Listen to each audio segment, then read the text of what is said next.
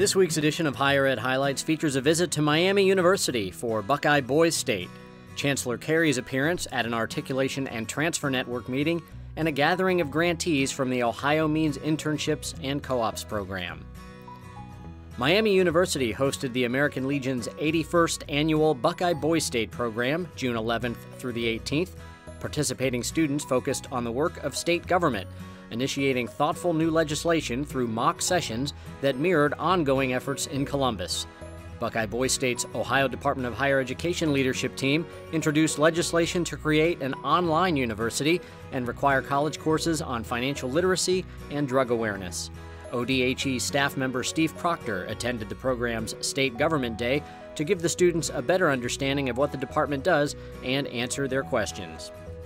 Chancellor Carey provided a higher education budget update to members of the Articulation and Transfer Network's Oversight Board during their June 15th meeting.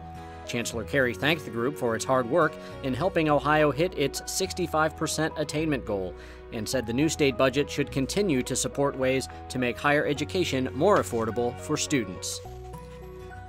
ODHE capped the week by traveling to Columbus State Community College's Delaware campus for an Ohio Means Internships and Co ops grantee meeting. More than 80 people from colleges, universities, and technical centers across Ohio attended the third annual meeting, where they received an overview of the OMIC program status and highlights from the past year. This morning we'll also see six of our institutions provide workshops on best practices and things they've done well, from large institutions like Bowling Green and University of Cincinnati to smaller schools, Clark State and Marietta College, talking about their experiences.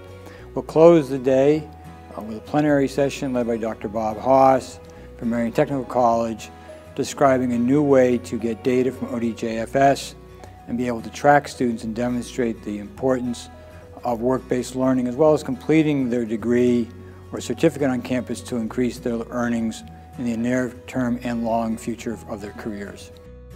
Look for Higher Ed highlights on the Ohio Department of Higher Education's YouTube page and through our Facebook page and Twitter feed and check out our website at ohiohighered.org.